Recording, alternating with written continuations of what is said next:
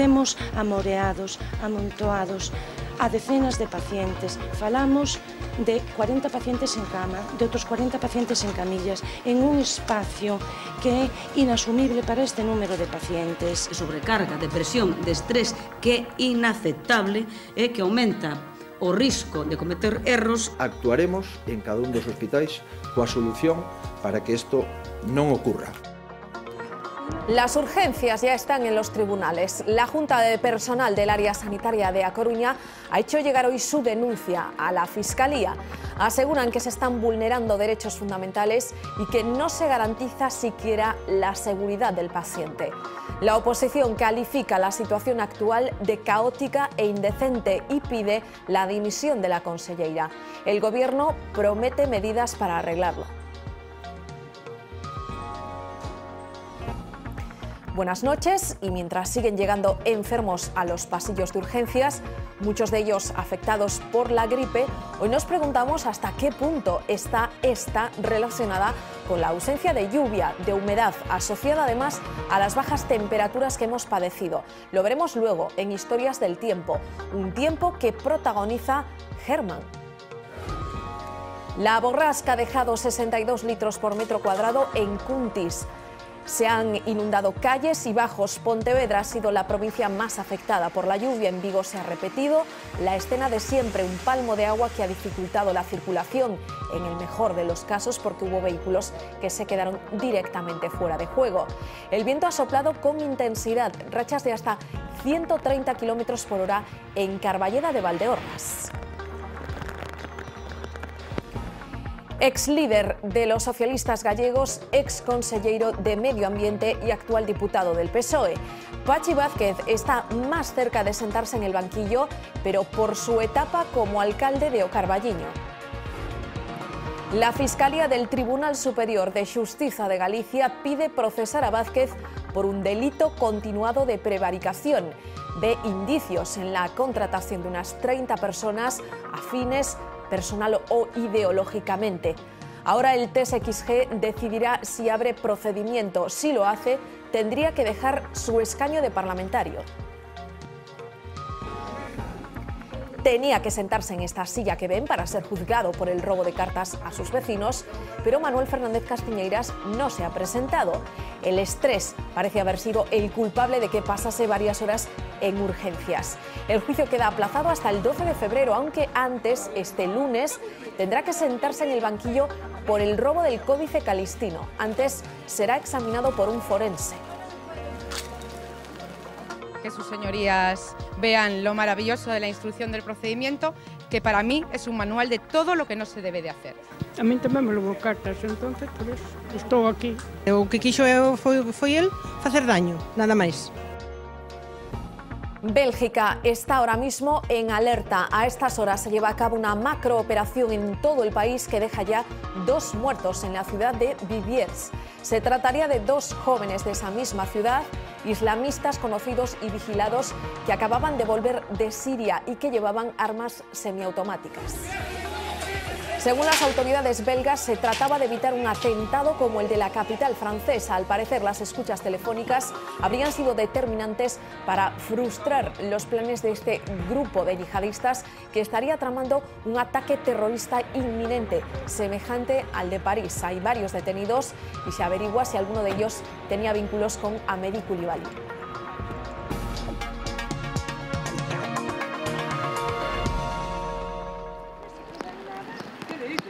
La situación que presenta el servicio de urgencias del CHUAC, el Hospital Universitario de A Coruña, ha llegado a los tribunales. Hoy la Junta de Personal de esta área sanitaria le ha hecho llegar a la Fiscalía su denuncia. Consideran que se están vulnerando derechos fundamentales, lo que podría ser constitutivo de delito y que todavía peor, las condiciones en las que se está prestando asistencia pueden suponer un riesgo para la seguridad de los pacientes. Denunciantes que recuerdan que esto no es nuevo, que las instalaciones que fueron inauguradas en mayo del año pasado sufren, dicen, una masificación inasumible que se suma a una estructura inadecuada del espacio y a un déficit de personal. Afirman que acuden a la justicia porque ya han agotado todas las vías de diálogo y negociación.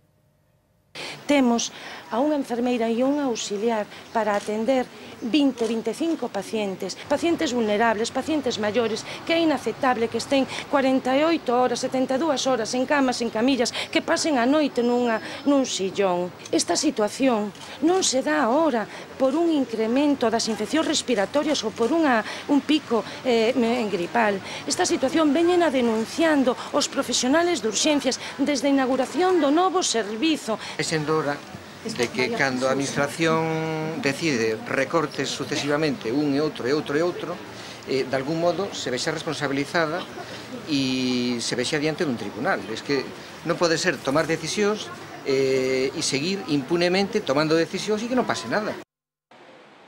La presión en urgencias sigue, la afluencia de pacientes ha bajado ligeramente, pero los problemas se centran ahora en las esperas por una cama. En Pontevedra hay camillas en los pasillos. En Vigo han dejado de derivar pacientes a la privada, pero sigue la saturación. Están un poquito colapsadas. Sí, hay gente en los pasillos, eh, en camillas. Nos atendieron rápido y bueno, estamos esperando ahora para que nos vuelvan a atender, ¿no? Pero bueno, si se ve gente por os pasillos, en camillas. Ah, no, atendéronme antes, pero despois puxeron ali no pasillo, como a todos, está ali e nada, non me dicen nada. Es normal que haya nos pasillos algo de gente, es normal, porque todo non se puede atender así de golpe. Las esperas se repiten en A Coruña, donde la ampliación de urgencias no ha evitado las quejas. Hay muchísimo más espacio, pero hay muchísimos menos médicos. Yo eché aquí pues casi día y medio para el resultado de una analítica de mi padre. Hay muchísima gente saturada, estás ahí, estás seguido pendiente de que te den información. Los que están dentro hacen lo que pueden, pero bueno, saturado está. ¿eh? Entiendo a veces que se colasen las urgencias porque atención primaria no está respondiendo como debería de responder. Más personal más personal, más camas y abrir camas que yo creo que está cerrada. En Ourense la situación se estabiliza. Aunque el número de urgencias es superior a la media anual, el problema ahora es la falta de camas. El hospital está lleno. En Santiago, sin embargo, aseguran desde el Sergas que hay camas para todos. Veo moi bem pola mañán, e só levaron inmediatamente para dentro e fixeron todo o que, que tiña que facer. A verdade que foi chegar e xa nos atenderon. Que pase que ahora están observacións e hai que esperar resultados de analíticas e demais. Mais tempo a espera xa da alta, co papel da alta co, co tratamento, que realmente o tempo de atención, de espera para, para atendelo. En lo que coinciden casi todos es que los profesionales hacen lo que pueden. La oposición califica lo que está pasando como algo caótico e indecente. BNG y AGE piden directamente la dimisión de la consellera y atribuyen el colapso a la reducción de personal y a los recortes. El presidente de la Junta defiende la gestión de su gobierno, asegura que se está garantizando la calidad asistencial, aunque reconoce que sigue habiendo esperas. eh, os profesionais desenvolvendo a súa eh, actividade nunhas condicións de sobrecarga, de presión, de estrés que é inaceptable e eh, que aumenta o risco de cometer erros e disminúe a calidade asistencial. E probablemente por eso sexa todavía máis grave que a Consellería de Sanidade este botándolle a culpa aos propios pacientes de acudir ás propias urxencias e mesmo a xente por non terse vacinado do gripe, non? Vamos a seguir traballando e vamos a seguir monitorizando día a día os pacientes que poden quedar pendentes de ingreso despois da noite de urxencias. E actuaremos en cada un dos hospitais coa solución para que isto non ocurra, ou polo menos que vaya disminuindo esas dificultades. En plena saturación de las urgencias, la Junta activa el Plan de Renovación Tecnológica para Hospitales. 88 millones de euros que irán destinados especialmente a la equipación del nuevo Hospital de Vigo, los equipos para la unidad de radioterapia y medicina nuclear del Hospital de Lugo y un TAC para el Hospital de Obarco de Valdeorras. La adjudicación se cerrará entre marzo y mayo de este año. Podría suponer, por ejemplo, el final de los viajes de varias horas que hasta ahora unos 600 pacientes de Lugo tenían que hacer hasta Coruña para recibir sus tratamientos. Manuel. El Ministerio de Sanidad se estaría planteando retirar el copago farmacéutico hospitalario. Así se deduce de las declaraciones que hoy ha hecho Alfonso Alonso, que cree que no tiene mucho sentido mantener esta medida. Un copago que había puesto en pie de guerra a las comunidades. De hecho, muchas se negaron a implantarla. No fue el caso de Galicia. La Junta, con este copago, que afectaba a unos mil pacientes en nuestra comunidad, consiguió ahorrar un 0,007% del presupuesto del Sergas, 250.000 euros. Ahora el Ministerio habla de reflexionar y revisar la medida. Alonso lo ha reconocido en su primera comparecencia en Comisión de Sanidad. Allí ha pedido unidad frente al problema de la hepatitis C. La oposición le ha recriminado que el plan estratégico llega tarde. Nosotros ahora mismo no tenemos un registro de pacientes, hay una carencia eh, muy significativa de información y que esta oportunidad que representa la aparición de nuevos tratamientos no ha de ser utilizada de forma partidista. Los enfermos gallegos de hepatitis C han podido hoy por fin contarles en persona su calvario al personal de la Consellería de Sanidad en la reunión prevista para las 12, pero que empezó finalmente a la una y media cuando llegó la Consellería, han vuelto a insistir en que solo piden que se desbloquee la medicación para aquellos enfermos que la necesitan urgentemente y para los que sus médicos la llevan solicitando meses. La consellera asegura que se han aprobado 80 tratamientos en Galicia, pero no ha especificado cuántos se han denegado o están sin contestar. Mosquera les ha remitido al plan estratégico que se está empezando a redactar. Los enfermos recuerdan que no disponen de tiempo y se preguntan por qué no se activó una estrategia cuando estos medicamentos entraron en el circuito farmacéutico. El Foro Económico Galego considera que los niveles de empleo que había antes de la crisis no se restaurarán en esta década. Así lo han asegurado esta mañana representantes de este organismo, integrado por economistas y empresarios, que además de plantear una batería de medidas para mejorar la situación económica de Galicia, han hecho un diagnóstico de la actual situación en nuestra comunidad. Estamos en recuperación, as cifras, todas as cifras amosan que a economía no ano 2014 pois está mellorando, estáse recuperando, pero hai tanto que mellorar que eh, obviamente non podemos decir que estamos recuperados. Que evolucionamos máis lentamente que el resto de España, como es tradicional. Eh, para o paro e emprego eh, eu non o vexo nesta década, mm, aínda que as cousas vayan ben, teríamos que medrar a, a cifras mmm, pois moi por riba do 3% para chegar ao ano 2020 cun paro igual que tiñamos no ano 2007. Por lo tanto, o, o que ten que ver co mercado de traballo vai ir moito máis lento. 50 propuestas configuran el informe elaborado por el Foro Económico Galego gracias a la aportación de una treintena de expertos y empresarios. Su objetivo, la recuperación de Galicia de aquí a 2020 sin un refuerzo de fondos públicos. Tener suficiente imaginación para con el dinero que existe, buscar una mayor optimización. Entre los retos está el de superar la crisis demográfica. Para ello proponen, entre otras medidas, simplificar los trámites para emigrantes retornados, incrementar las escuelas infantiles un 10%, especialmente en polígonos y grandes compañías, y eliminar la brecha entre empresa y universidad. También proponen la figura institucional de una agencia independiente que analice la rentabilidad de las grandes infraestructuras. Permitiría evitar eh, facer moitos elefantes blancos. El sector naval es otro de los ámbitos que necesita un cambio de timón con una mayor especialización tanto de los astilleros como de los propios profesionales. Solo así habría una mayor competitividad. La reactivación del rural pasaría, entre otras medidas, por penalizar a los que abandonen sus propiedades y también por reactivar el banco de tierras como mecanismo para que las fincas rústicas estén a disposición de 40.000 explotaciones agrarias. Otra de las actividades que pretenden reavivar, esta vez en el mar, es el servicio puerta a puerta para dominar el tráfico de mercancías marítimo. En cuanto a recursos públicos, el foro considera que el Fondo de Compensación Interterritorial debería multiplicar por siete su cuota para Galicia. Por último, apuestan por un cambio en el modelo productivo para captar capital foráneo y buscar nuevos mercados en otras fronteras, además de impulsar la marca de país con una consellería o secretaría específica que fomente una estrategia de acción exterior. Para ello, Galicia debe superar el hándicap de su situación geográfica y sacar partido al mar y a las oportunidades en el norte de Portugal. El sector agrario ha denunciado hoy que los ganaderos comienzan el año en el peor de los escenarios imaginables. Los ganaderos gallegos, con precios por los suelos que no cubren los costes de producción y con un pacto oculto, según denuncia Unión Agrarias, entre Ministerio e Industria Láctea para que haya contratos que duren menos de un año. El sindicato llama a hacer un frente común para impedirlo.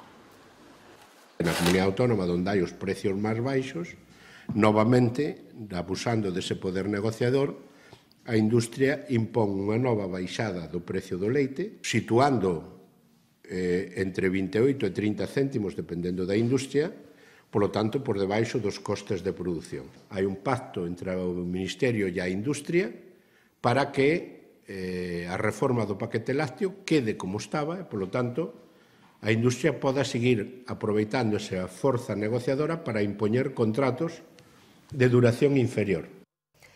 En Fuenlabrada, la protesta de los trabajadores de Coca-Cola ha terminado con incidentes, cuatro heridos en el desalojo de la fábrica y un detenido.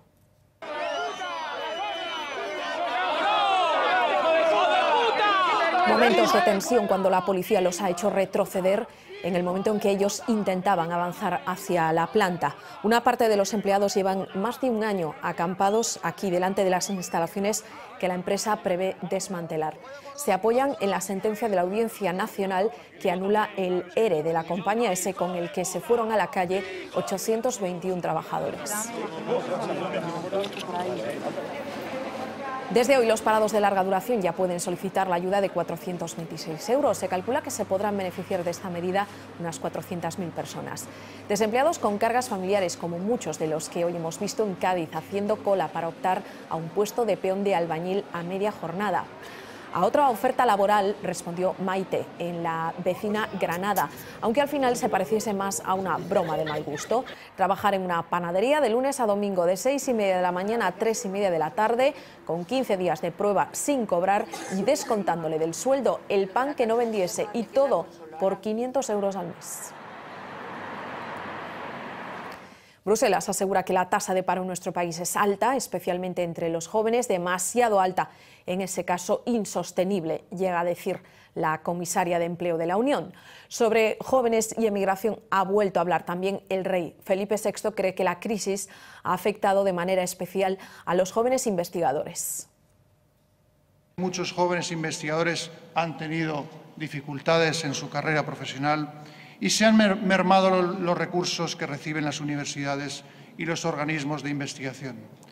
Esto nos debe hacer reflexionar sobre el papel que debe desempeñar la ciencia y la innovación en el futuro de nuestro país.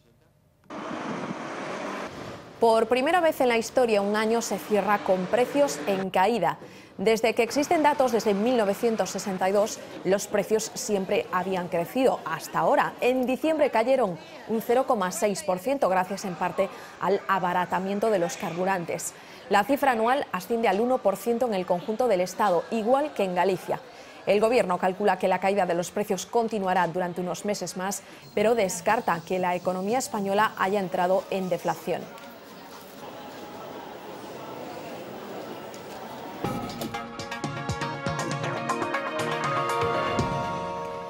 Todos esperando su declaración y él en urgencias por un cuadro de estrés.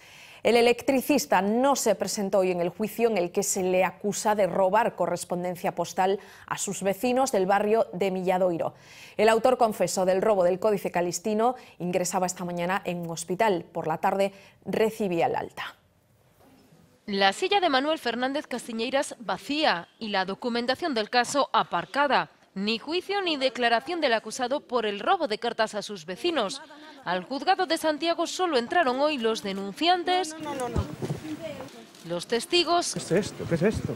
y los abogados. Que ingresó en el hospital, que el hospital mandó comunicación al respecto y no puedo decir más porque lo desconozco. Mientras las cámaras le esperaban a la puerta del juzgado, Castiñeiras estaba aquí, en el hospital de Osanlés. Ingresó en urgencias a las ocho y media para salir por su propio pie horas después. ¿Le parece que todos estos medios de comunicación pueden generar algún tipo de presión ambiental en una persona? El estrés de Castiñeiras no convenció a los denunciantes, los vecinos a los que supuestamente sustrajo las cartas que se encontraron durante el registro del piso en Omilla.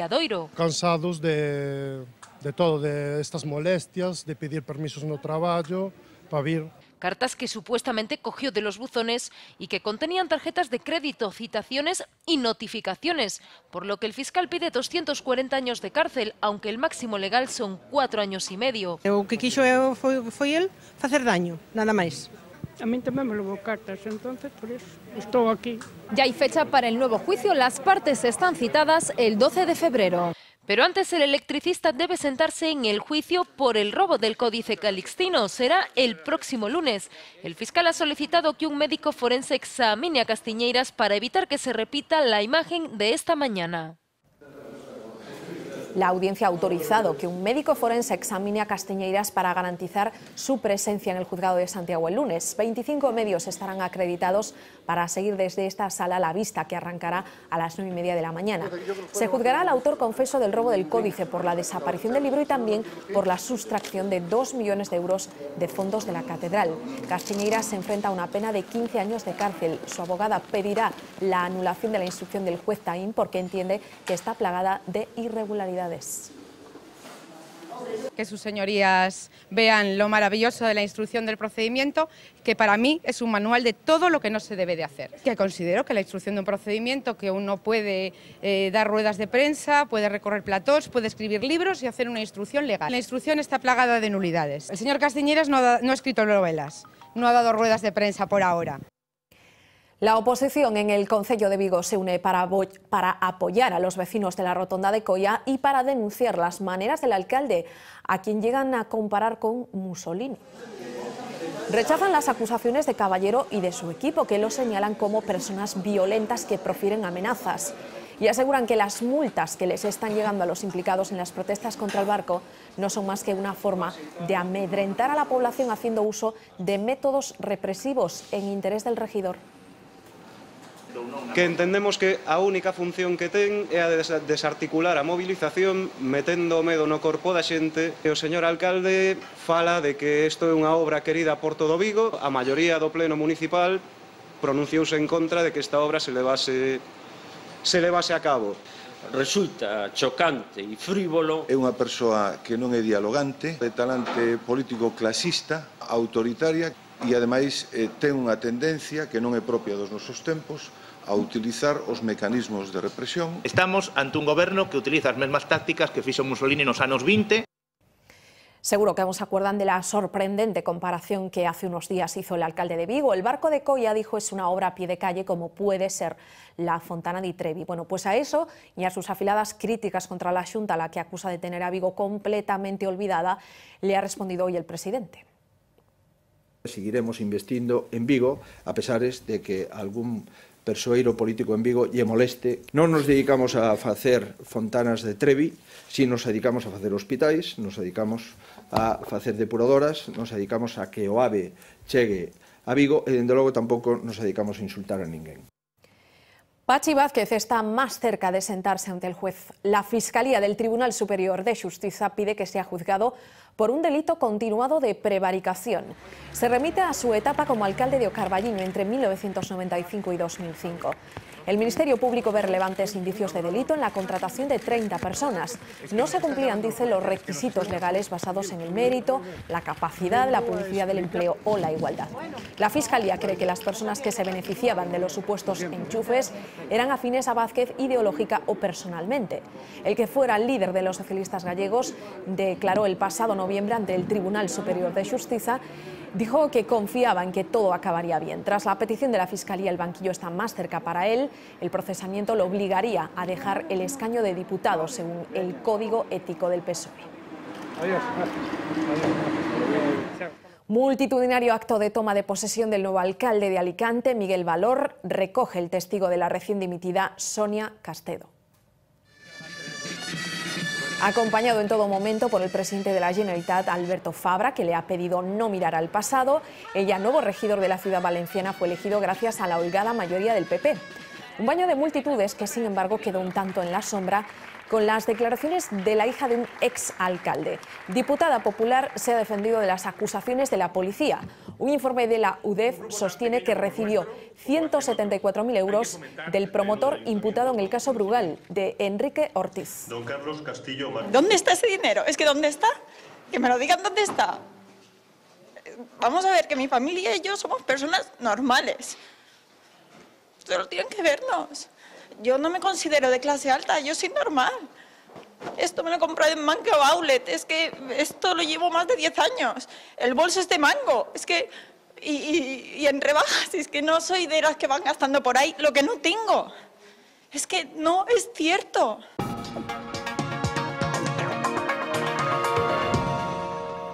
Bélgica se encuentra en alerta. Hay al menos dos muertos y un herido en una operación antiterrorista en Verbier, al este del país. Se trataría de yihadistas que habrían sido abatidos por la policía. Hay además varios detenidos. Los hechos han ocurrido cerca de la estación de tren de esta ciudad, donde según varios testigos se han escuchado disparos y explosiones. Los fallecidos son jóvenes de Verbier, islamistas, conocidos y seguidos por la policía. Habían vuelto hace poco de Siria y la policía los investigaba desde hacía días, desde antes de los atentados de París. Escuchas telefónicas permitieron saber que tenían intención de cometer atentados de gran envergadura. Su objetivo principal, agentes de policía.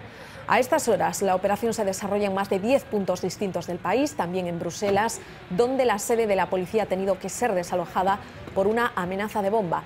El gobierno dice que el ejército está listo para intervenir y ha elevado el nivel de alerta de 2 a 3. Amédi Koulibaly, el terrorista que hace una semana mató a un policía y a cuatro judíos franceses en un supermercado de París, estuvo en Madrid las pasadas Navidades, concretamente entre el 31 de diciembre y el 2 de enero, con su pareja, ahora en busca y captura, justo antes de volver a la capital francesa para cometer sus ataques. Amedi Koulibaly trajo en coche hasta Madrid a su mujer Hayat Boumediene y al hombre con el que ésta voló a Turquía el 2 de enero y que más tarde la acompañó supuestamente hasta Siria. Los vimos juntos en estas imágenes del control de Estambul ese mismo día 2. Koulibaly se despidió de ellos en Madrid y regresó a París por carretera. Fuentes de la lucha antiterrorista han confirmado que eligieron volar desde Madrid hacia Turquía como medida de seguridad y que la estancia de Koulibaly en nuestro país fue solo con ese objetivo, el de acompañarles. No hay indicios de contactos con una célula de apoyo en la capital española. Se sabe que para cometer sus atentados Koulibaly tuvo al menos un cómplice, el que le trasladó hasta el supermercado judío. Podría ser la misma persona que editó y subió a internet este vídeo, una grabación que pudo haberse hecho en esta casa de las afueras de París, donde fueron encontradas armas, banderas del Estado Islámico y dinero en efectivo. En el vídeo, Koulibaly dijo haber actuado en nombre de Estado Islámico que tiene su feudo en Siria y a cuyas filas podría haberse unido ahora su viuda y su acompañante. De él solo sabemos que es franco-argelino y que su hermano reclutaba yihadistas para enviarlos a Siria. La investigación policial sobre los hermanos Kouachi, los autores del atentado contra el Charlie Hebdo, también se centra en su posible red de apoyos. De momento hay un francés de origen haitiano detenido en Bulgaria por supuestos vínculos con los dos terroristas. El presidente Hollande ha expresado públicamente su apoyo a la comunidad musulmana, una comunidad que en Francia compone más de 5 millones de personas. El Papa Francisco asegura que la libertad de expresión tiene límites. Et ce sont les musulmans qui sont les premières victimes du fanatisme, du fondamentalisme et de l'intolérance, que l'islam est compatible avec la démocratie. Les Français de confession musulmane ont les mêmes droits, les mêmes devoirs que tous les citoyens. può provocare, non si può insultare la fede degli altri, non si può prendere in giro la fede.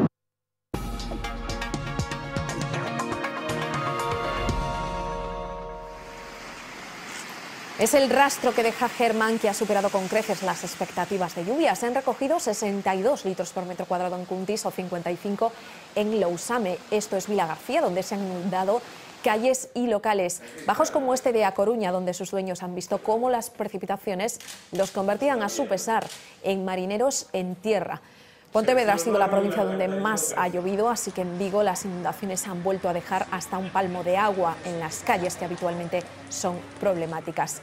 Se han registrado rachas de viento de hasta 130 kilómetros por hora en Carballeda de Valdeorras y de 111 en Carnota o Burela.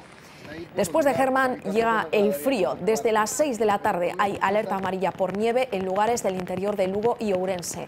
Mañana de nuevo tendremos nevadas a partir de los 700 metros, también en el interior de Pontevedra. Y el mar seguirá en alerta naranja por olas de hasta 7 metros.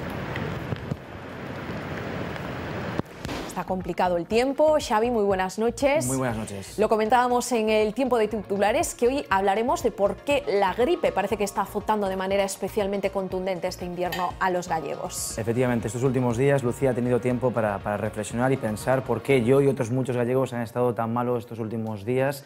He estado investigando, hoy he estado con una pediatra y vaya sorpresa me he llevado, porque uno podría pensar en principio que un día como ha sido hoy, con mucha lluvia, con mucho viento, un día de temporal, pues es el día perfecto. Ya más propicio para, coger la, gripe. Por ejemplo, porque nos podemos eh, mojar, pero no, el virus de la gripe no se siente cómodo en un día como el de hoy, se siente mucho más cómodo en un día de condiciones secas y frías, un día de tiempo anticiclónico.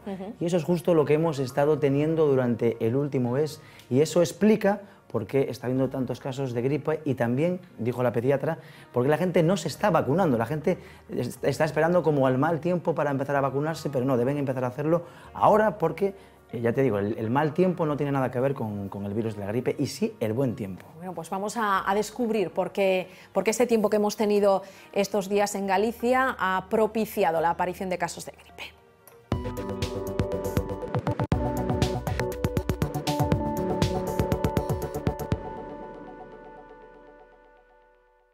Hipócrates fue un científico griego que ejerció como médico en el siglo IV a.C. Está considerado el padre de la medicina y el primero en relacionar meteorología y enfermedades. Él decía que bueno, pues el clima era una serie de condiciones que eh, podrían eh, alterar algunos pues, de lo que ellos llamaban los humores de las personas y que esto podría causar enfermedad de la persona. Sin tecnología y con escaso conocimiento, los diagnósticos se basaban en causa-efecto.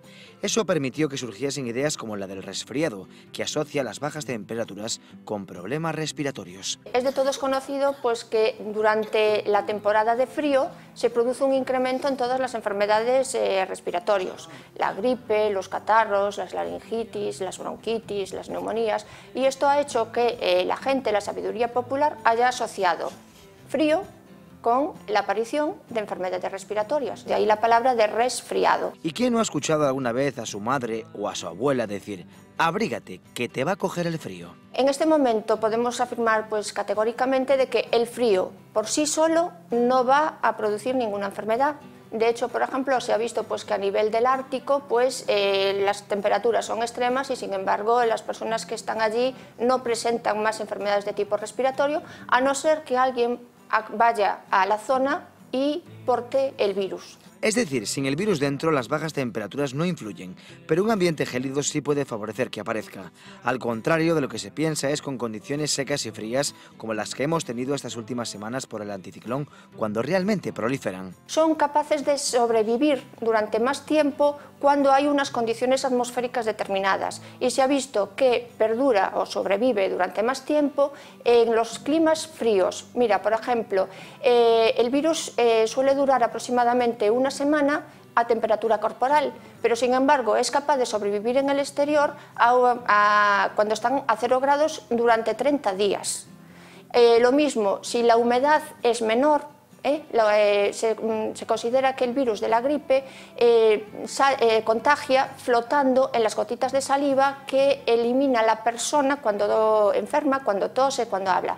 Y estas gotitas, si hay mucha humedad en el ambiente, es una teoría, se cree que absorben parte de esa agua de la atmósfera, con lo cual aumenta su peso y caen al suelo, con lo cual es más difícil la transmisión, dificulta, digamos, la transmisión de persona a persona.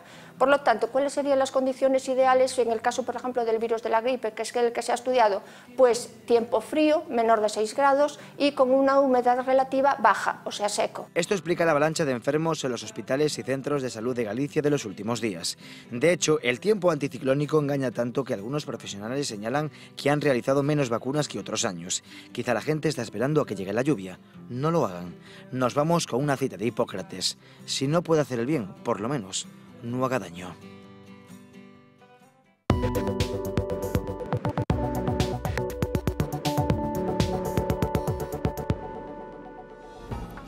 Bueno, pues decimos más o menos adiós a Germán, a esa borrasca, y ahora llega el frío en todo su esplendor. El aire frío que arrastra esa borrasca. Va a ser un día bastante más agradable que el de hoy, pero la novedad es que van a bajar bastante las temperaturas, además van a soplar vientos del norte, sensación de frío, y la otra protagonista va a ser la nieve, que va a nevar, por ejemplo, en el interior de Pontevedra, y también va a haber avisos de color amarillo, tanto en el interior de Pontevedra, eh, montaña del Lugo, montaña de Ourense, y con ese aviso de color naranja, otro día más por olas de hasta 7 metros de altura. Bueno, pues a abrigarse toca entonces.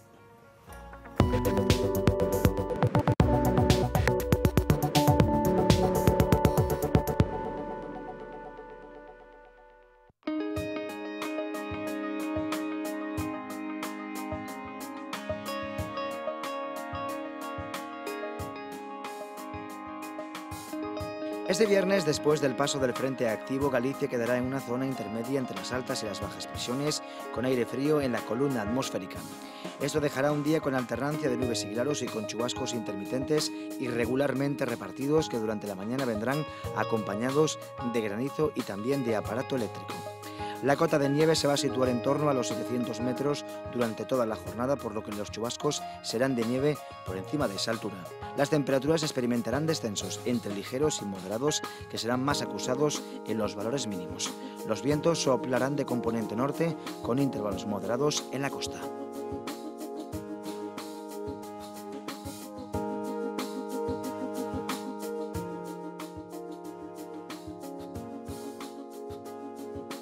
El sábado el tiempo en Galicia vendrá marcado por la presencia de una borrasca que se va a aproximar a la comunidad durante la segunda mitad de la jornada. Esto dejará una mañana con cielos nubosos con lluvias débiles en las comarcas atlánticas. Las lluvias irán en aumento por la tarde y durante la noche serán generalizadas y por momentos de intensidad moderada. La cota de nieve se va a situar en torno a los 1000 metros de altura. Las temperaturas se mantendrán sin grandes cambios. Los vientos soplarán de componente sur aumentando en intensidad por la tarde hasta alcanzar ráfagas muy fuertes durante la noche. Y el domingo las bajas presiones se van a mover hacia el continente europeo, alejándose de Galicia. Durante la primera mitad del día tendremos cielos cubiertos con lluvias débiles que tenderán a desaparecer a medida que avance la tarde, quedando solamente en el este durante las últimas horas del día, cuando serán de nieve por encima de los 800 metros. Las temperaturas ascenderán particularmente las mínimas, aunque notaremos un descenso a partir de media tarde. Comprobamos ahora el estado de la mar que espera este viernes y ojo porque sigue activado ese aviso de color naranja por fuerte oleaje en toda la costa. En las Rías Baixas soplará viento del noroeste con fuerza de 3 hasta 6, fuerte marejada marejada con visibilidad de regular a buena y con mar de fondo de noroeste con olas de 5 a 7 metros. En la Costa de la Morte, viento del noroeste por la mañana y del norte por la tarde con fuerza de 4 hasta 6, fuerte marejada con visibilidad de regular a mala y con mar de fondo de noroeste con olas también de 5 a 7 metros. En la zona de Artabro viento del noroeste por la mañana y del norte por la tarde con fuerza de 4 a 6, fuerte marejada, con visibilidad regular y con mar de fondo de noroeste con olas que también van a oscilar entre los 5 y los 7 metros de altura. Y por último, en la costa cantábrica, viento del oeste por la mañana y del noroeste por la tarde, con fuerza de 4 a 6, fuerte marejada con visibilidad regular y con mar de fondo de noroeste con olas de 4 a 6 metros.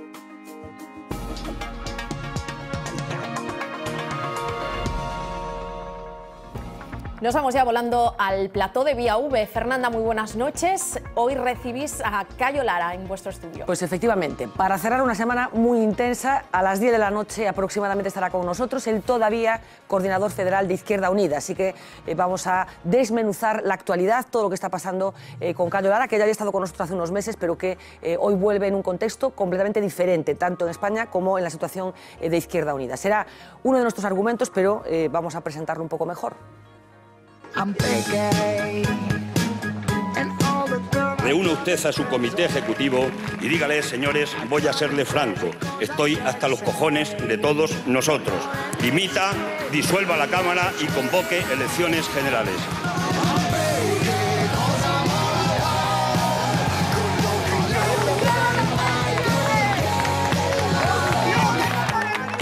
Y no nos vamos a resignar a volver, repito, a tiempos pasados.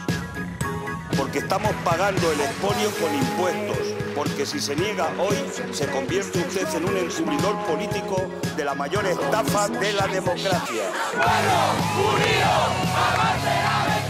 Es una pena que no esté aquí Alberto Garzón esta noche para inmortalizar este momento con un tuit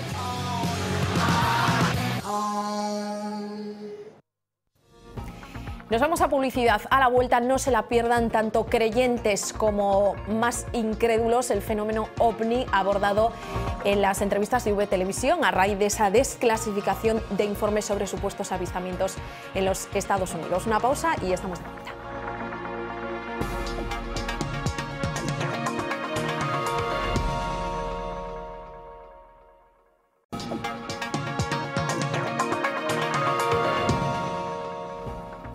Pues esta noche vamos a hablar del proyecto Libro Azul.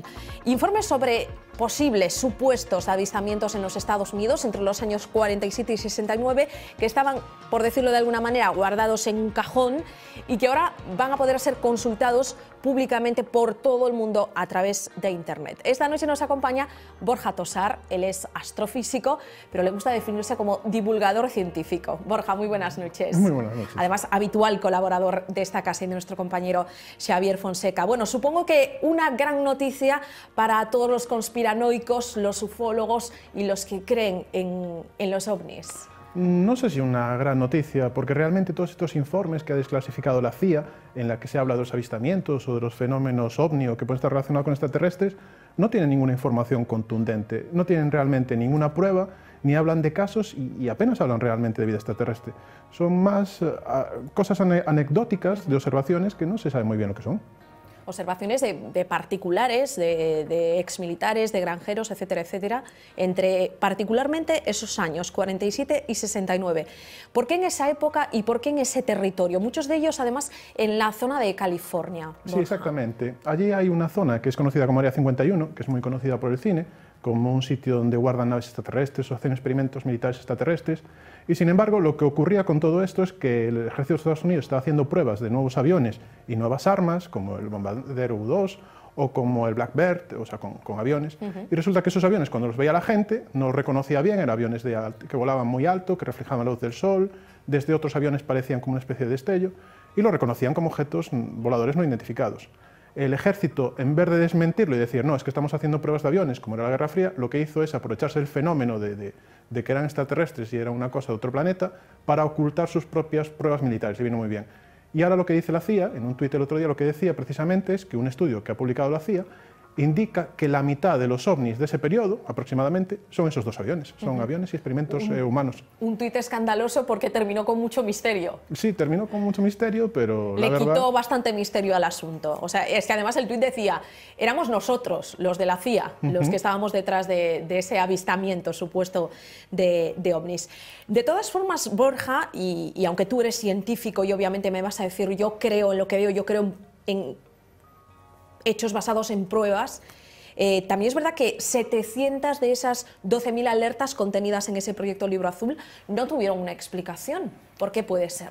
No, pues eh, los avistamientos hay que ver cada caso independientemente, pero un objeto que aparece, en la estrella, eh, que aparece en el cielo, que puede ser una estrella, un meteoroide, un trozo de basura espacial, un avión reflejando la luz en la puesta de sol, hay tantos fenómenos que pueden hacer parecer algo raro que seguramente todos esos fenómenos que quedan por analizar bien será por la falta de datos que no se ha determinado una causa lo más natural posible. Eh, hoy en día todos llevamos una cámara encima, un, un, teléfono móvil, hay un montón de cámaras de seguridad, hay un montón de cámaras de autopistas y no se registran ovnis ni se registran platillos volantes.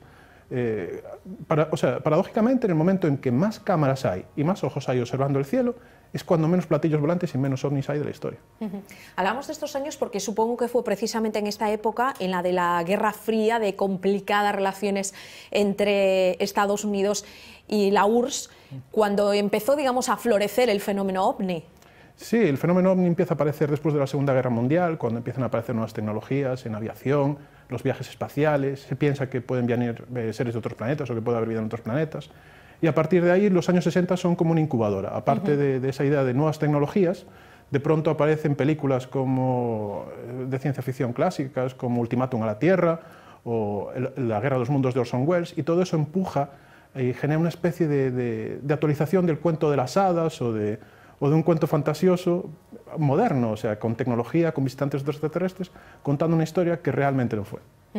Y decimos, normalmente conocemos la parte eh, americana, pero ¿se produjo el mismo fenómeno también de interés eh, por los ovnis en la parte comunista, digámoslo así? Sin ninguna duda, los sí. ovnis eh, en Rusia también tenían mucho interés en la Unión Soviética por los ovnis, lo que pasa es que los métodos de, de secretismo que tenían allí eran muchísimo más blindados y seguramente pues, no han desclasificado nada o poco van a desclasificar. Allí era todo mucho más hermético, sin duda, que, que en los Estados Unidos de América. Uh -huh. Estábamos viendo ahí imágenes precisamente en una de las películas que mencionabas de Ultimátum a la Tierra. Uh -huh. Sí, esas, ese tipo de películas, o sea, cuando aparece esa idea tecnológica de que pueden venir visitantes, esas películas, o el cine o, o la ficción, es la que ocupa todo, claro. todo, esta, todo este sentimiento de, de, desear que realmente pues, vengan extraterrestres a la Tierra, ¿no? con tecnologías maravillosas y con... Eh, o simplemente a venir a, a generar la guerra. O... Ujú. ¿Crees que detrás de esa intención de, de, digamos, mm, eh, borrar del mapa las maniobras militares, dices que bueno, eran como una tapadera, que también podría venir bien por otra cosa a los americanos, decir, eh, pues eso, que había objetos eh, voladores no identificados? Sin ninguna duda, los americanos aprovechaban la idea de que podía haber objetos voladores no identificados y así hacían sus pruebas y no decían realmente que eran pruebas. Estaban ocultando con, dejaron que todo ese fenómeno de que podían ser extraterrestres y de los ovnis ocultara la realidad, que eran pruebas eh, del ejército de Estados Unidos de América en esta zona. Pero porque crees que serían mal recibidas por los ciudadanos de entonces, que no aceptarían esas maniobras militares. Quizás más por los ciudadanos porque la competencia, que en ese momento sería la- los soviéticos, la, la Unión de Repúblicas Socialistas Soviéticas, pues que no supieran de la existencia de, de superbombarderos, como estaban diseñando, capaces de, de evitar los radares, de hacer vuelos muy largos y de bombardear desde grandes alturas. Y quizás por eso, para que los soviéticos no supieran que estaban desarrollando una nueva arma, un nuevo sistema de invasión de la Unión Soviética basado en aviones que volaban muy alto, muy silenciosos y que lanzaban bombas terribles, pues eh, quizás para que no se enteraran de todo eso que, que estaban haciendo. Algo así como ocultar un telón para, para ocultar sus pruebas de, de nuevos, de nuevas armas para, para la guerra. Comentabas antes, si con las nuevas tecnologías que tenemos hoy día no se puede probar o no se puede captar un fenómeno ovni, yo te pregunto también, Borja, bueno, ¿y qué pruebas científicas hay que evidencien que no existen? No hay ninguna prueba científica que evidencie que no existe, pero ya el planteamiento es bastante incorrecto desde el punto de vista científico, porque tú no puedes no probar algo. Es, es una paradoja y se cierra en sí misma en, en un sinsentido. Realmente tú cuando haces ciencia o cuando intentas trabajar con cualquier idea, tienes que probar que, ocurre, tienes que eh, probarlo, ¿no? Y cuando un fenómeno es algo extraño y es algo sorprendente o es algo muy, muy inesperado, o sea, dependiendo del fenómeno, cuanto más inesperado sea, más contundentes tienen que ser las pruebas. Fenómenos extraordinarios requieren pruebas extraordinarias, como decía Carl para que sean probados. Y en el caso de los extraterrestres y de los ovnis y de la idea de que nos visitan civilizaciones de otros planetas, no hay absolutamente ninguna prueba sólida. En todos estos años no ha habido ni una sola prueba, ni un trozo de nave espacial, ni una foto nítida, ni una prueba de un observatorio, ah, ni una foto de satélite, absolutamente ni una sola prueba empírica y objetiva de que el fenómeno existe. Oye, Borja, y tú que estás en Galicia, como todos nosotros, eh, ¿qué opinas de esos avistamientos también eh, en nuestra comunidad, más o menos recientes, que puede haber sido? Pues eh, recientemente pues, hubo un avión que reflejaba la luz del sol en la puesta de sol, que es un fenómeno también es relativamente habitual, pero si lo ves y no estás acostumbrado a ver el fenómeno o no tienes capacidad de aumentar un poco qué es este destello, puede parecerte realmente un ovni, puede parecer una luz brillante en el cielo que de pronto se mueve en direcciones contrarias, se queda estática en el cielo y luego desaparece fugazmente. Y realmente es un avión que en la puesta de sol refleja la, luz del sol, porque está en una posición de ángulo justo muy concreta y muy particular, y hace que sea un destello gigantesco. Y eso se vio hace poco en Galicia y también generó cierta confusión como avistamiento de ovni. Claro. Sin embargo, está claro que fue un avión. Y otro también fue algo que está bastante bien documentado, que fue una especie de meteorito que, que no llegó a chocar contra la Tierra, sino que entró en la atmósfera de la Tierra, eh, como entra a gran velocidad, se volvió incandescente, brilló, pasó por toda España, llegó a Galicia y fue avistado en Galicia, y después salió de nuevo a- al espacio. ¿no? Son cosas raras, pero a veces pasan, y lo bueno que tenemos es que estos avistamientos en Galicia están muy bien documentados y sabemos muy bien lo que es. No son platillos de volantes. Borja, también hay que distinguir, obviamente, el hecho de que podamos decir que no hay pruebas eh, que evidencian la existencia de ovnis, lo cual no tiene nada que ver con que no haya vida extraterrestre, que para eso se están enviando muchísimas misiones al espacio exterior para verificar si efectivamente puede haber vida en algún otro planeta que no sea la Tierra. Sí, y estos son unos años emocionantes en, en esa rama de la astronomía, que es la planetología. Son unos años emocionantes porque por primera vez hemos empezado a descubrir planetas orbitando otras estrellas, se han descubierto planetas como la Tierra, muy parecidos a la Tierra, en tamaño, en masa, orbitando estrellas como el Sol. ¿Y por qué no? ¿Por qué no si hay un planeta exactamente igual que la Tierra, en otro lugar del universo, en otro lugar de la galaxia, que orbita una estrella igual que el Sol y que está justo a la distancia justa para que aparezca la vida, para que haya huelga, ¿por qué no puede haber eh, vida en otros sitios? De la misma manera que apareció en la Tierra, quizás aparezca en otros Claro. sitios. ¿no? Pero de momento no tenemos ninguna prueba. Sin embargo, es muy emocionante esta época porque estamos a punto, o sea, puede ser el año que viene, puede ser mañana o puede ser igual dentro de 20, pero estamos empezando a tener la tecnología capaz de detectar por primera vez vida en otros planetas en sistemas solares diferentes. Y eso puede llegar en cualquier momento, o puede que no llegue nunca.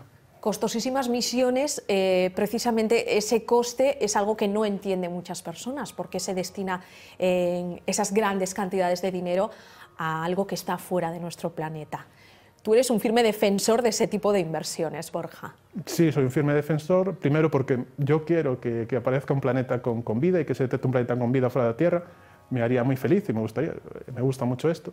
Pero sin embargo, desapasionadamente, y si tenemos que coger y decir, leer la cartilla y decir, oye, se gasta un montón de dinero en toda esta tecnología para detectar planetas orbitando otras estrellas, en naves y otros planetas, ¿esto para qué sirve? Pues resulta que precisamente hacer tecnología para cosas tan extremas como ir a otro planeta o detectar planetas orbitando otras estrellas eh, repercute en la sociedad con nuevas tecnologías claro, que, luego que, tiene que sus aplicaciones en otros ámbitos. Sí, sí, los GPS que utilizamos para orientarnos con, con, Google Maps todos los días, los teléfonos móviles. Las cámaras de los teléfonos móviles son con un chip que se llama chip CCD, que se desarrolló en principio para la astronomía, incluso cosas que nos salvan la vida. El primer detector de humo por emisión de radiación fue diseñado para las misiones Apolo de los astronautas que iban a la Luna, los detectores de humo que salvan vidas, la espuma de los cascos de motoristas, incluso el software que permite la tecnología de los TACS o de resonancias magnéticas nucleares fue desarrollado para NASA para cosas de astronomía y luego encontró una aplicación médica que ahora salva muchas vidas. Uh -huh. Pues mira, Toda esa tecnología sí es útil viajar al espacio exterior. Oye, Borja, y al margen de, de la propia eh, satisfacer la propia curiosidad que tenga uno de decir, pues efectivamente hay vida exterior en otro planeta. Eh, de hallarse vida fuera de otro planeta, ¿crees que se podría eh, aplicar a algo práctico? Es decir, pues en caso de catombe, pues se ha planteado en alguna ocasión el poder vivir allí, gente que ahora mismo vive en la Tierra, en otro planeta, o eso ya es eh, pues echarse demasiado fuera del tiesto. Es una idea muy bonita, es una idea muy bonita porque es la idea de la, exploración de los seres humanos. Hoy en día podemos salir y hacer una excursión a la Luna. Tenemos la tecnología capaz de hacer una excursión a la Luna y quizás a Marte. Tenemos una estación espacial en órbita, tenemos eh, naves que orbitan alrededor de la Tierra, pero desde luego no tenemos la capacidad para colonizar otro mundo, claro. llegar a otro mundo. Pero, sin embargo, algún día, si conseguimos eh, tener un desarrollo tecnológico eh, lo suficientemente grande, seguramente seamos capaces de generar establecimientos permanentes y ciudades permanentes, entornos permanentes, en la Luna, en Marte o en otros planetas, o incluso algo mucho más extremo, eh, conseguir coger un planeta que en principio es inhóspito y no permite la vida y convertirlo en una copia de, de la Tierra, que es una cosa que se conoce como terraformación. Uh -huh. Transformar un mundo que en principio es desértico y, y totalmente hostil a la vida, que en él no podrías vivir más que unos pocos minutos, transformarlo de tal manera que sea exactamente igual que la Tierra, con océanos, con aire, con atmósfera, y se pueda vivir allí. O sea que no estamos hablando de ciencia ficción. Es un poco de ficción, sí. pero tiene algo de ciencia. Toda, toda buena ciencia, sin duda, empieza por, por un sueño, empieza por soñarlo, por, por una ficción y por imaginarlo. Si no imaginamos algo antes, nunca lo conseguiremos, desde luego. Borja, muchas veces y no siempre el género humano peca de egocentrismo. De hecho, sin ir más lejos, imaginábamos a esos seres extraterrestres marcianos casi con forma humana. Por uh -huh. algo será, porque solo pensamos en nosotros mismos. Para que nos hagamos una idea, ¿qué suponemos nosotros, cada uno de nosotros, en el espacio-tiempo, en la historia del universo? Pues muy poquito, muy poquito. Vivimos en, en un pequeñísimo planeta que supone que es prácticamente una mota de polvo comparada con el Sol.